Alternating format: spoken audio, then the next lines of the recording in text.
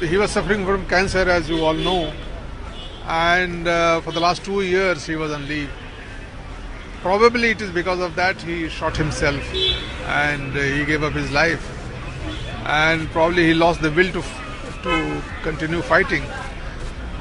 Otherwise, he was a very courageous officer, a bold officer.